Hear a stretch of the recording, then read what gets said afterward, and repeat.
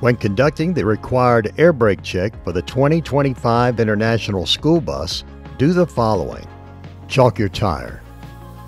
Once the pressure in the air tanks is at 120 psi, turn off the key. Then turn on the key.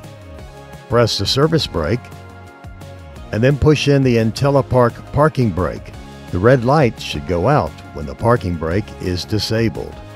Now you will need to press down on the fuel pedal as you wait for one minute to check for more than a 2 psi air leak. The IntelliPark brake system has a 30 second timer and will reset itself.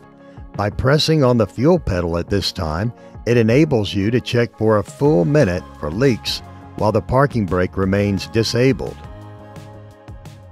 Next, take your foot off the fuel pedal and apply it to the service brake to check for more than a 3 psi drop in air pressure over one minute's time. Then, bleed down the brakes by pumping the service brake. You should hear and see the usual low pressure warning signals at 60 to 65 psi, and at 20 to 45 psi, the red lights on the IntelliPark brake system should come on so you can now stop bleeding your brakes as your emergency brake has been activated. Now test the emergency brake by cranking the engine and putting the bus in drive by turning the switch to drive. This is located to the right of the steering wheel.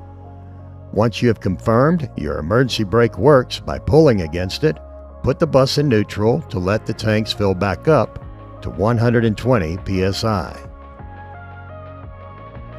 Once full, check the parking brake to ensure it is working properly by putting the bus again in drive and pressing on the fuel pedal several times.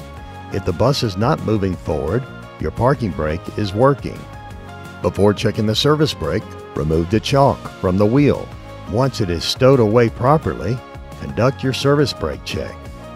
You will need to move the bus two times.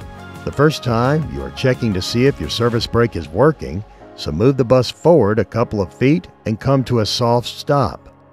The second time, you are checking for any pull or tug in the steering wheel, so a firmer stop is needed after rolling a few feet.